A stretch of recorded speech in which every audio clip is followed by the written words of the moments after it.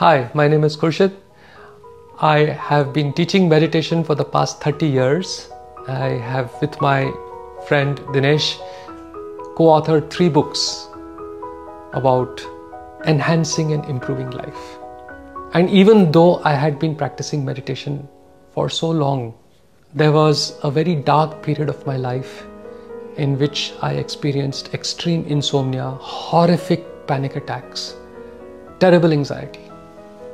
When I went to my doctor, she told me, You do yoga and meditation, you know how to fix yourself. I'm not going to give you any medication because any medication I give you for this is in some way an addiction, and I don't want to start you on that path. I was blessed to have a doctor like that.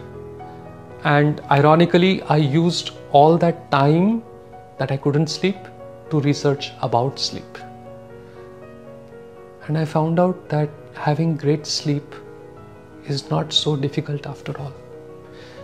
Five, six, seven years of terrible misery melted away in a few weeks, a few months.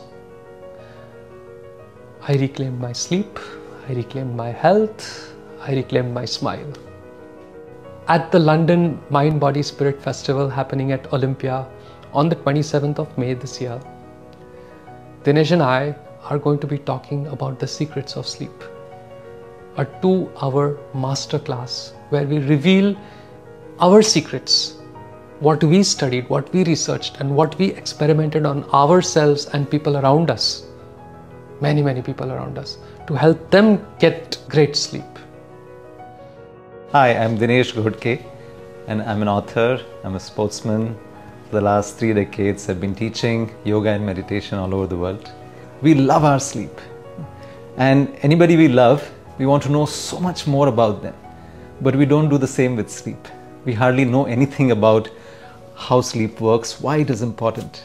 At the Mind Body Spirit Festival in London on 27th of May, we are going to do a masterclass on the secrets of sleep where you will learn, you will understand why sleep is so important and what are the things that we can do to make it uh, the most joyful time of the day, other than being awake and doing wonderful things, and making it a recipe for success in our life.